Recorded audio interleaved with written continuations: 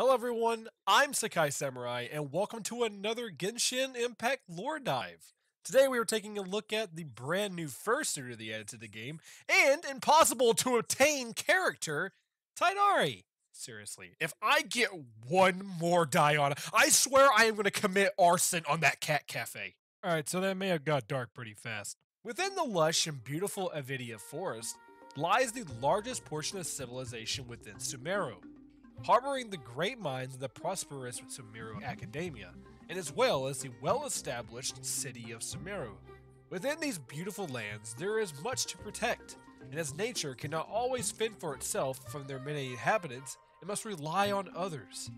This is where the legendary Forest Watchers come in, the dutiful protectors and guardians of the vast forests of Sumeru, who have sworn to protect these lands with their very lives. Most of their tasks are centered on monitoring the local wildlife and beast populations, as well as preserving the local rainforests, and suppressing the constant threat of withering zones entering the area. It is said that those who encounter misfortune in Avidya Forest shall meet a Grand Forest Watcher, known as Tighnari, who would swoop in and assist with those that are in need, or punish those who dare to harm the great forest of Sumeru. Tighnari, a young fox-eared man, stands at the ready to lead Sumeru's people to a better tomorrow, working diligently every single day in the honorable hopes of preserving the beautiful forests of Sumeru. Looks-wise, Tighnari is a very different looking character, and he seems to support traits of what hints to resemble somewhat close to a desert fennec fox, with his long curved fox-like ears, a green bushy tail, and his really weird eating habits. He's also said to have a very delicate complexion, though you should never let his gentle looks fool you. He is indeed a very skilled fighter, and a valiant protector through and through. His name alone brings two images to the minds of many, some seeing him as a peaceful guardian, appreciating the planet's blessings, and always swift to lend a helping hand to those who struggle to go on. While others see him as a fearsome foe, one being a lurking predator in the Avidya forest, ready to halt anyone who dared to bring harm to the land he swears to protect. Either way, indeed he has become a legend amongst the great lands of Sumeru. In Tighnari's beginning years starting off as a ranger, he found the Forest Watchers battling to keep up with the massive demands that the land had requested from them. Not because of nature per se, but from humanity's own ignorance. Invasive camps and shelters were often crafted from destroyed vegetation, and with people came domestic waste dumps, which in turn would lead to great contributors of pollution. Many of the cases would also spark forest fires, as they would stem off from these established camps that would fail to properly douse off their bonfires correctly. The Rangers must not only secure and reclaim the land that has been improperly treated, but must also cease the existence of any invaders themselves, which was an encumbering task for the Watchers. As they were stretched thin as it was, they also had issues that continued to arise, as they were in great need of help if they were to encounter this great threat.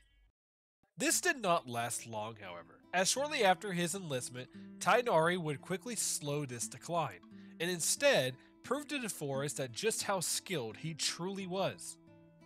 Many would say that the reason for his expertise was due to him as a scholar, as he indeed once hailed from the world-renowned Sumeru Academia, which had taught him his unique skills and precise techniques that he would gladly demonstrate on anyone who threatened the land itself.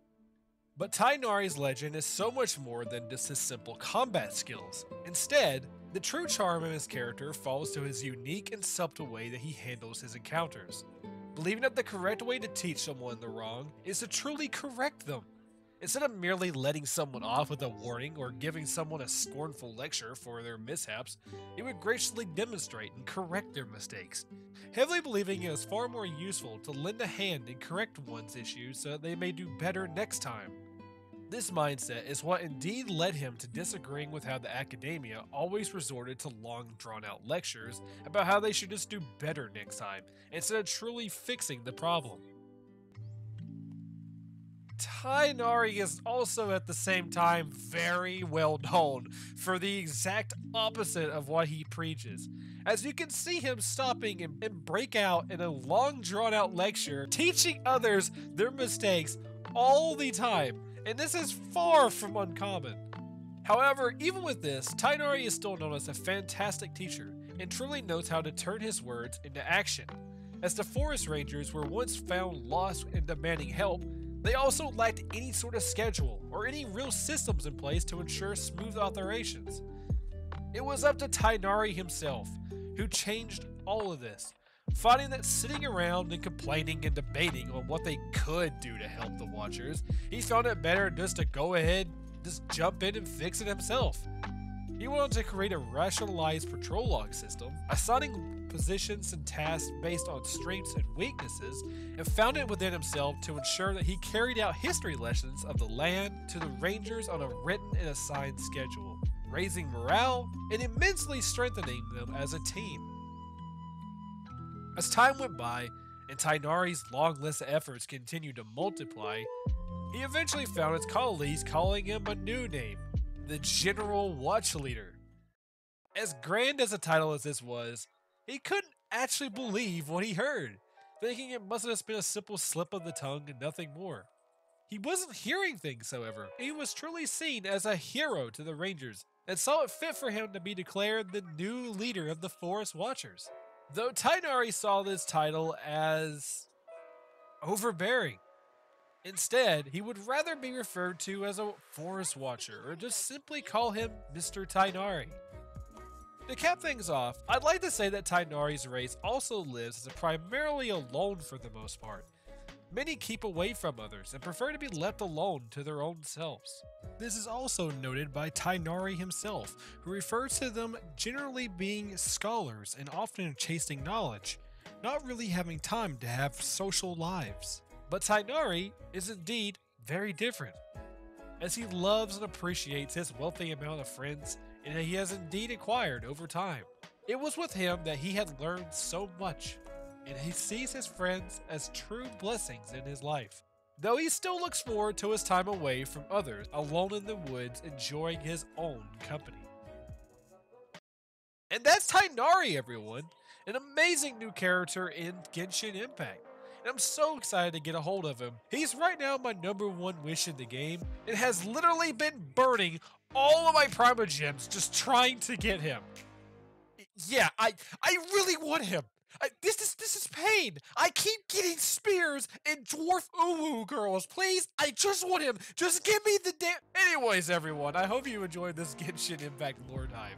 Make sure you guys leave a like if you enjoyed the video, and please, if you haven't already, subscribe today and check out my growing catalog here on the channel. It's only up from here, and we have plenty of content to take on. As always, everyone, if you have any suggestions on what we should do next and what character we should cover, leave them down below.